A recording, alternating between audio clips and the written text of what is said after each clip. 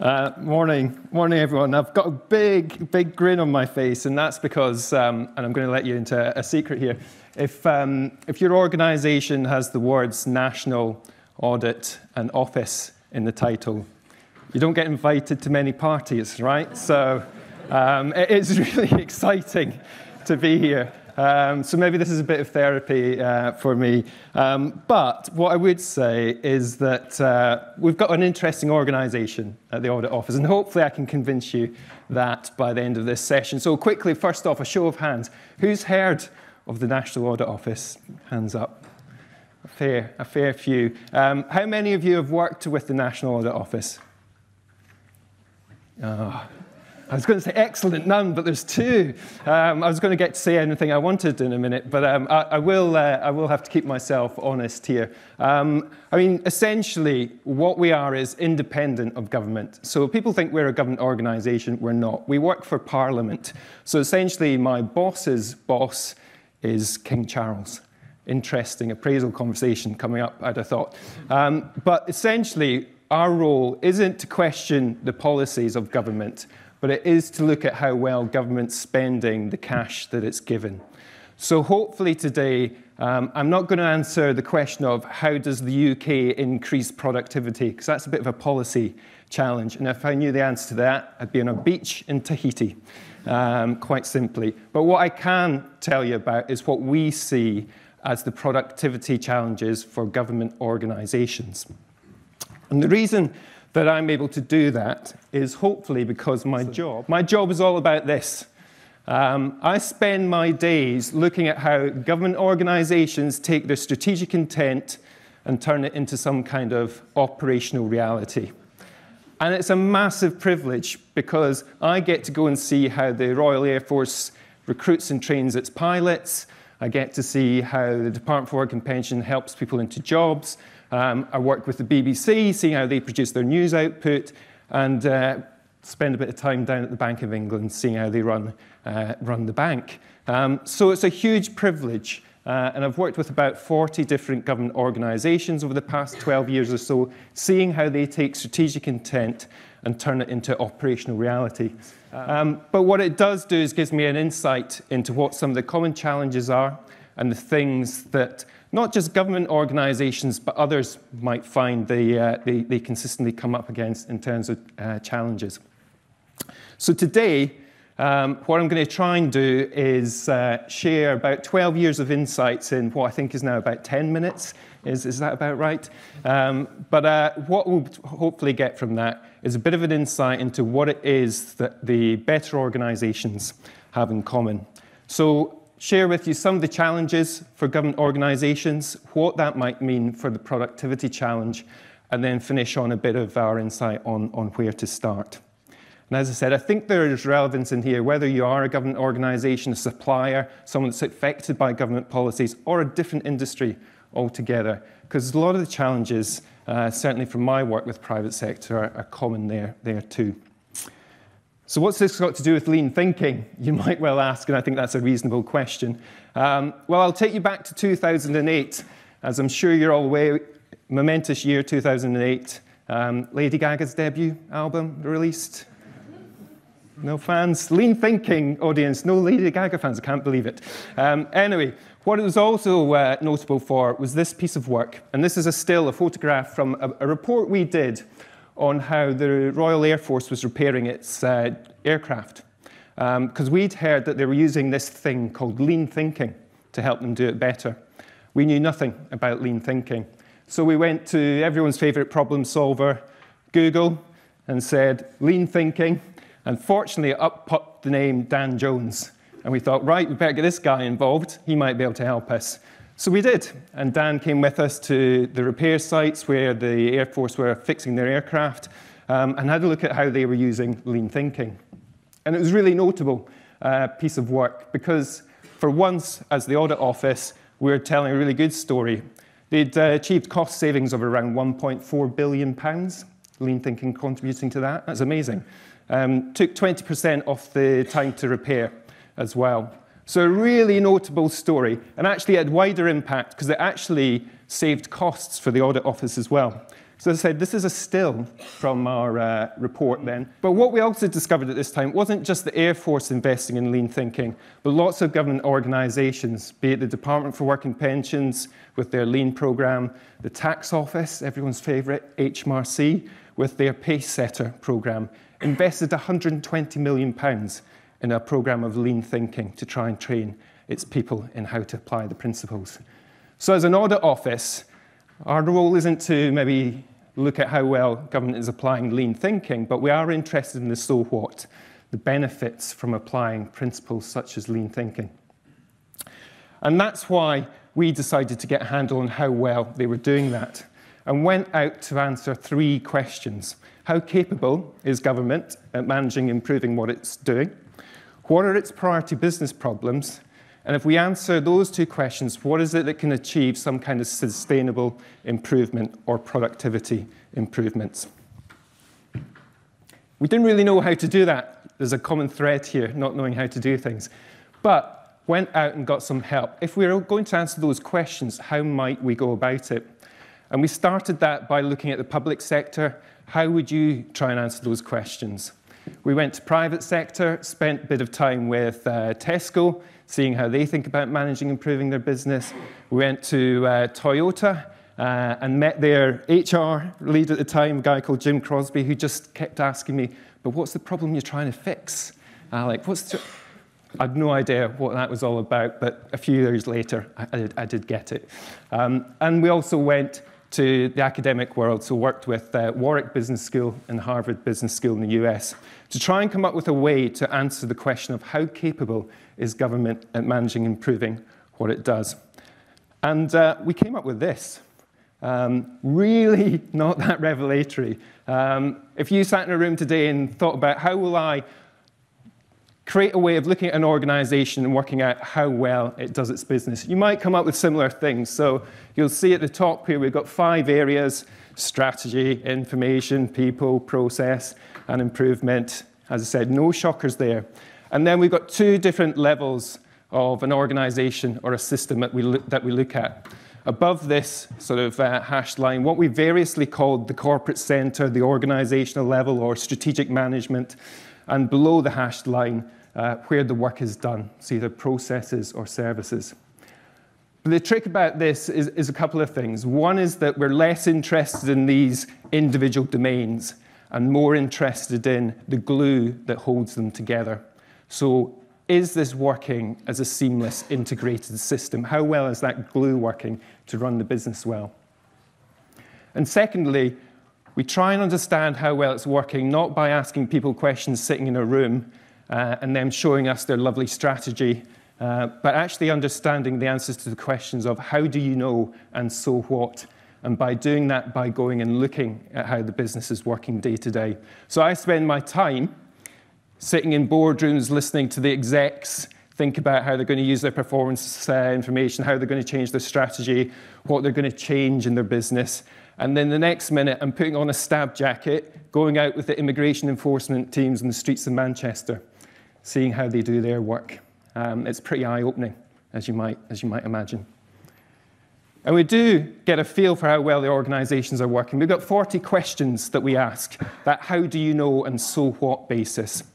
And I'm going to show you how well government is doing. So this is the aggregate of all those organizations, those 40 organizations and 120 services that we've worked with. Each of those bars, uh, a different one of the questions we are interested. I'll give you a clue. Red isn't so good. Green is really good. Uh, any observations from that? Lots of opportunity. Lots of opportunity. Excellent. Because normally it's, oh, it's not very good, is it? No, it's lots of opportunity, and that is true. Um, in one way, this was interesting, but it didn't tell us a lot. So we got our stats team to crunch the data. We've got thousands of data points from doing this work, and we asked them, what are the common things that the best performing organizations have in common? And they said it's these four things. There are about a dozen questions. Some of them to do with creating clarity of purpose, others about creating a good end-to-end perspective, how you use information to improve, and the management and leadership environment that underpins all that. Nothing revelatory in this. But this is the evidence from doing all the work with government. And as you can see, not many getting it really, really right.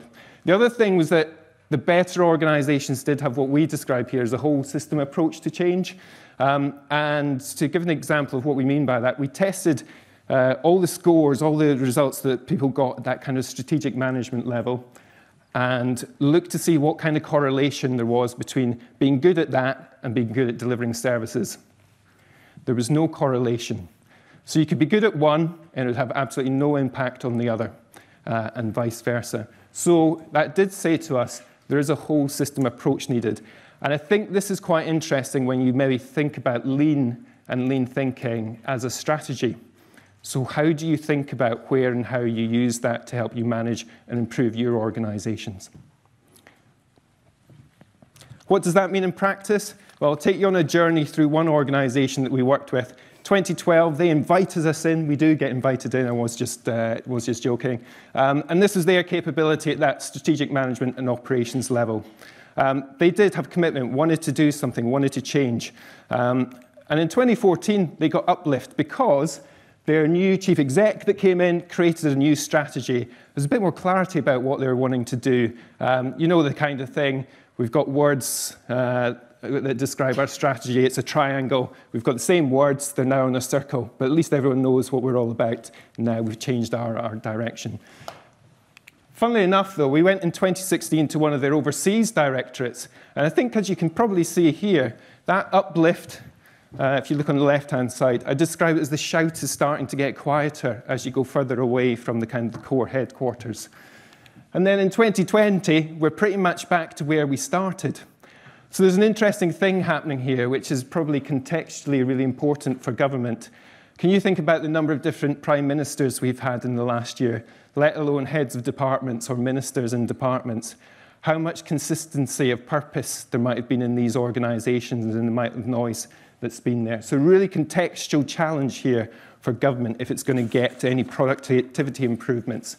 Where, what is our true north goal? Where are we headed as a business? Quite difficult to keep responding to that kind of noise. So, what does this mean in terms of the productivity challenge? Should we, should we care about this? And we definitely should. Because about 400 billion pounds spent by government each year just on grants, uh, administration, and services, let alone the cash that's funneled through those and things like benefits. I can't get my head around that number. It's just, it's just massive, isn't it? So if you can make productivity improvements of even small amounts, that's a massive size of the prize, isn't it? So there's a cash imperative. But there's also a service imperative. We all get affected by these services, whether you're trying to get through an airport and they don't have security staff because they've not been cleared by government, whether you're trying to get a passport uh, from the passport office, or whether you're actually wanting to go and get your COVID vaccine. Uh, these are all things that really matter to us as service users. Uh, so there's a customer dimension on this, which is extremely important, extremely important too. So it's puzzling. Why is this so difficult? Um, and what might this mean in terms of how to address this as a productivity challenge? And there are two, probably two different ways we can think about this. The first is the degree to which government is doing the right things. Uh, my colleagues over in the Treasury would probably call this allocative efficiency. Um, I just call it doing the right things. Um, so, how to make sure that government is thinking about doing those right things?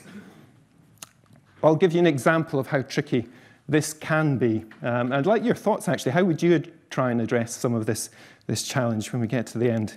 Um, anyone remember this ad campaign?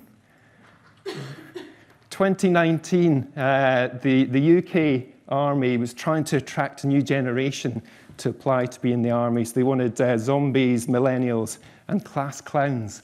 Um, I spent my autumn in 2019 looking at how the army recruits new soldiers.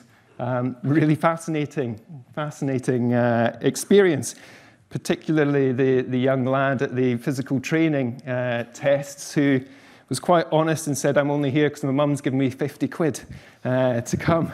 Um, he didn't last too much longer, I have to say. But what we did discover as part of that was that everyone, no matter where we were in that process, said, yeah, the real problem here isn't that it takes us 320 days on average to recruit someone new into the army, 320 days. That's amazing, isn't it? Um, the real problem is the GPs because they don't return the medical forms that we send off to them. I thought that's interesting. Fast forward a few years, uh, just last year, you might have heard about backlogs in issuing driving licenses. Get this if you've got a more complicated driving license, maybe you have a medical condition, you're going to be delayed because those GPs aren't returning those medical forms.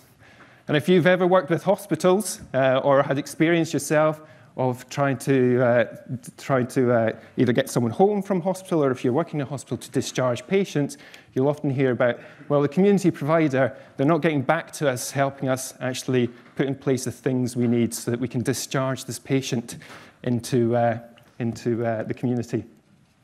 If you're a GP, what do you think you're thinking, uh, being on the receiving end of that? I suspect you may be thinking this, right? What's this got to do with me?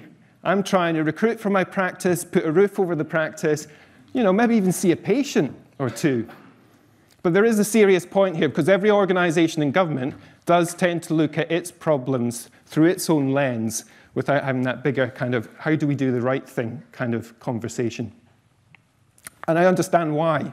Um, but it's really important uh, that it does take that wider, wider uh, perspective. You might remember this photograph. I think it's, it's a great example, isn't it? Because what he's really saying is obviously, I've got three children, three children now, not just, not just one that I've got to look after with my, my wife. But really important view, if you start seeing things from different perspectives, you might be able to see what would doing the right thing actually mean in these kinds of circumstances. But government's incentivized maybe to look through your own organizational lens. That's how you get given money to do the thing for your organization, your policy. That's how you're held to account. But that doesn't mean you can't maybe think of things in a slightly different way. I was lucky enough to work with Washington State in the US, and they have quite a different way in which they hold people to account. This is a still from what's called performance reviews that Washington State do, and they get every organization that touches uh, a particular policy area to come in and contribute to how they hold people to account uh, for what's happening. Um, this is uh, an example of them actually getting in the lived experience as well. So it's not just the political or the, the, the, administrators, it's the people affected by the services too. So they can start having open and honest discussions about what's really, really happening. Um, so there is a different way that things can be done. Uh, we're just not quite doing it in the UK as yet. So, doing the right thing, a massive opportunity. The other side of things is, and you've got there already probably, doing things right.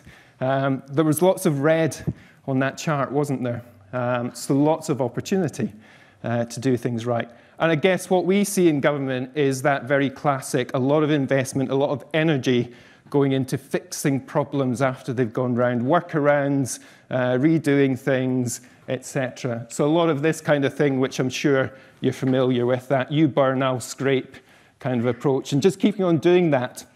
Or if you're in the Novotel across the road, you don't get burn, you get that warm bread uh, kind of thing.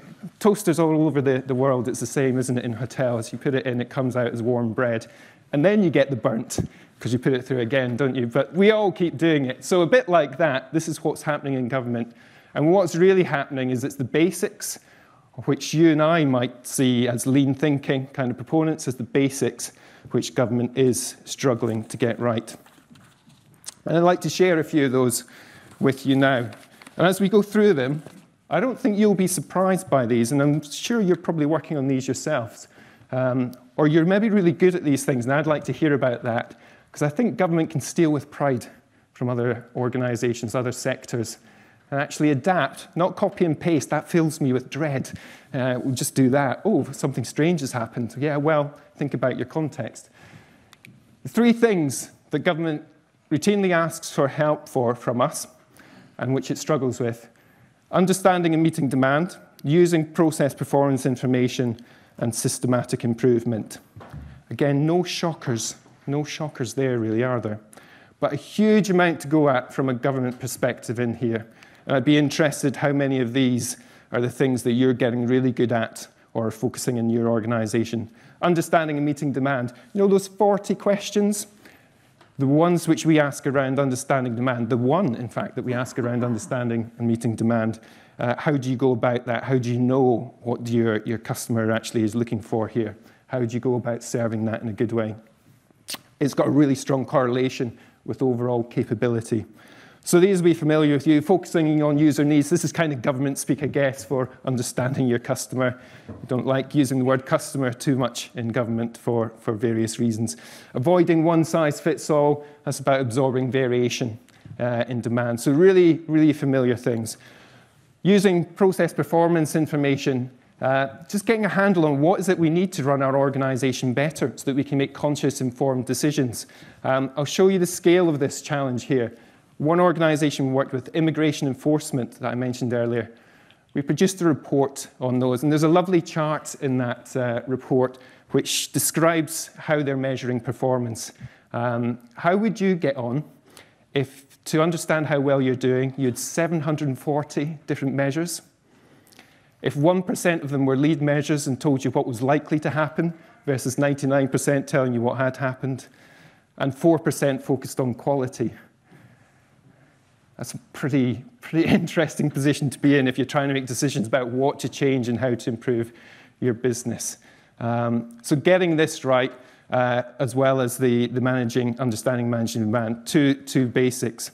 Next up, though, systematic improvement. And I think this is the one where uh, government really needs to think about if it is to try and address that productivity challenge, maybe try and think about how to get better value out that 400 billion and improve the services that, that you and I use.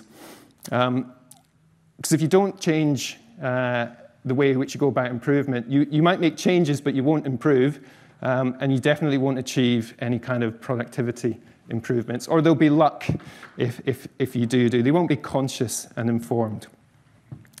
So, what's the consequence of all this for government? Well, we routinely see government working in what we describe as this kind of firefighting mode, moving from one crisis to the next, one massive challenge to the next, um, rather than at the other end of the scale where they're actually doing some controlled whole system continual improvement. And I guess um, the system's built for that. You know, crisis management is celebrated. You did a great job when things were up against the wall. Um, I don't know if this is similar in your industries or, or quite different. Um, people also, curiously, tend to get rewarded, uh, tend to get maybe get promoted for that kind of response as well.